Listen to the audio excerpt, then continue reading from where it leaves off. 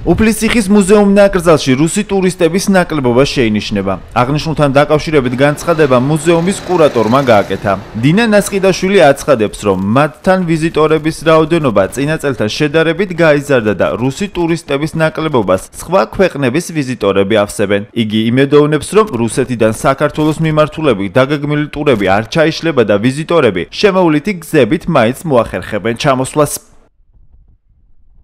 თუ გავითვალისწინებთ ამ მოვლენებს, შედარებით რა თქმა უნდა იკლო განსაკუთრებით რუსეთიდან ჩამოსული ვიზიტორების რაოდენობა შემცირდა, მაგრამ მაინც რა თქმა უნდა მოდიან ისევ და ყველა იმას აღნიშნავს, რომ ეს არის დროებითი და ყველაფერი ისევ ისე გამოსწორდება, რამდენადაც ვიცი ტურები, ვისაც დაგეგმილი ქონდა, არ ჩაუშლიათ და ისევ შემოვლითი გზებით, მაგრამ მაინც ახერხებენ ჩამოსვლას.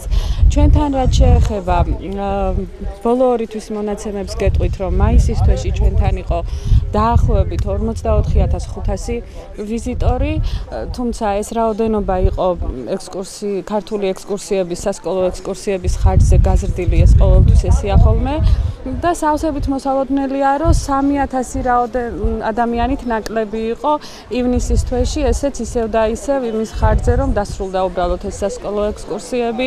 ბოლო ორი კვირა და ვერ დავაბრალებთ თუ კი გაიხედავთ მოედანზე ჩანს რამდენი ვიზიტორები ყავს დღესაც